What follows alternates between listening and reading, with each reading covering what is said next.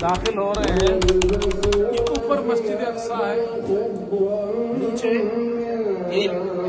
پرانی مسجد اقصا جو حضرت سلیمان علیہ السلام کے زمانے میں تعمیر ہوئی تھی اس کا انٹرنس ہے زیر زمین وہاں داخل ہو رہے ہیں بسم الرحيم اللهم افتح لي ابواب رحمتك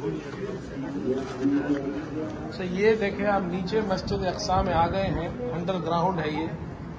اب ہم جا رہے ہیں دیکھنے، جو پرانی مسجد اقصا ہے۔ اور یہ دیکھیں، یہ عمارت، یہاں سے ہم داخل ہوں گے اندر۔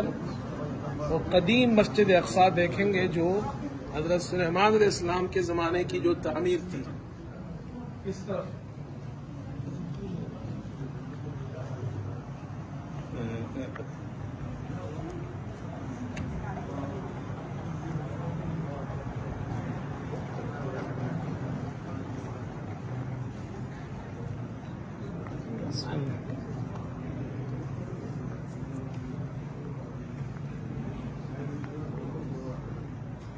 یہ دیکھیں جی یہ ہم نیچے پہنچ گئے ہیں۔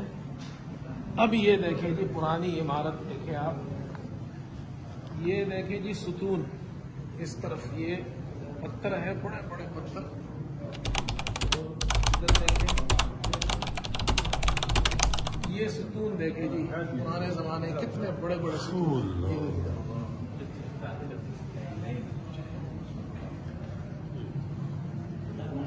یہ ستون دیکھیں یہ دیکھیں جی۔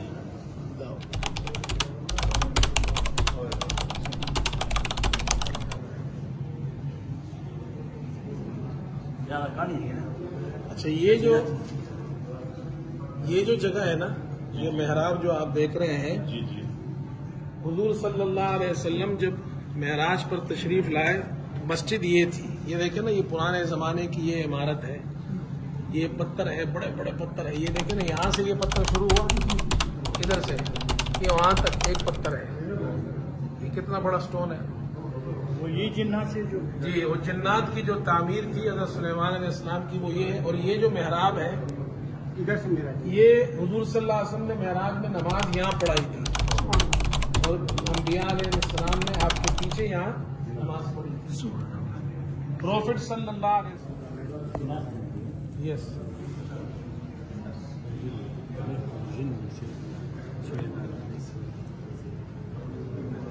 یہ دیکھیں جی یہ پلر ہے۔ یہ پلر دیکھیں جی۔ یہ پتھر ہے۔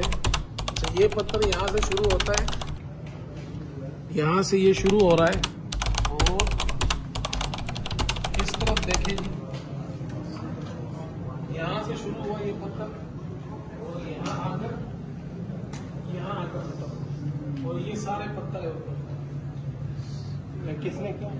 یہ جنات نے تعمیر کی تھی۔ اور یہ اوپر دیکھیں جی چھت۔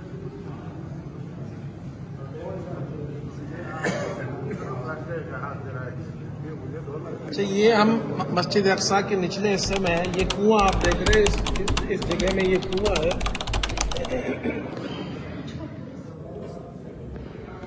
یہ جو کنواں ہے، یہ اس کو کہتے ہیں زیتون کے تیل کا کنواں۔ اور یہ پہلے زمانے میں یہاں پر لوگ زیتون جمع کرتے تھے، اور پھر وہ جلایا جاتا تھا قندیلوں میں۔ مسجد اقسا کے اندر اور قبت الصخرہ میں۔ کئی سو قندیل رمضان میں بیس ہزار قندیل جلاتے تھے۔ تو اس کو زیتون کا کنواں کہتے ہیں۔ جو یہاں پر اس نیچے جو مسجد اقسا ہے، قدیم مسجد اقسا اس کے اندر ہے۔ ایک روایت میں آتا ہے کہ حضرت صلی اللہ علیہ وسلم سے پوچھا گیا، تو آپ نے فرمایا مسجد اقسا میں ایک نماز پڑھنے پر ایک ہزار نمازوں کا ثواب ہے۔ جو نماز نہیں پڑھ سکتا تو وہاں زیتون کا تیل بھیجے قندیلوں میں جلانے کے لیے، تو اس کو بھی ثواب ملے گا۔ تو پہلے زمانے میں یہاں تیل جمع ہوتا تھا، سٹور ہوتا تھا، اس کا نام پڑ گیا زیتون کے تیل کا کنواں۔ آ جائے بھائی۔